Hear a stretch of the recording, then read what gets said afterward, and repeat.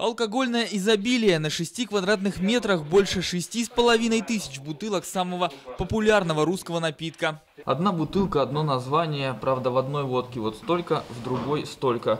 Разлив явно не заводской. Бутылки изъяли из нелегального оборота. Коробки здесь хранятся с 2013 года. Место склада мы назвать не можем. Секретная информация. Сейчас паленую водку отсюда повезут на утилизацию. Ну чего, зову бригаду, начинаем с этой царской охоты.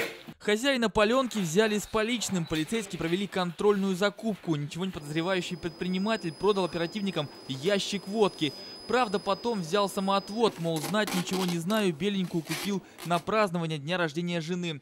Остальные три с лишним сотни коробок нашли позже в Заволжском районе Ярославля. Данная продукция была изъята а, в гаражном комплексе города Ярославля, одном из гаражных комплексов, сотрудниками МВД России по городу Ярославлю. Качество продукта неудовлетворительное, так как он сделан из спирта, который э, не соответствует э, качеству. В небольшом боксе на бутылке наклеивали этикетки и разливали спиртное. Продавали паленку в ларьке на улице Павлова. Теперь, спустя два года, она транзитом через Кострому отправится в Белгородскую область, в село Веселая Лопань на утилизацию. Я сам 35 лет работал на этом деле.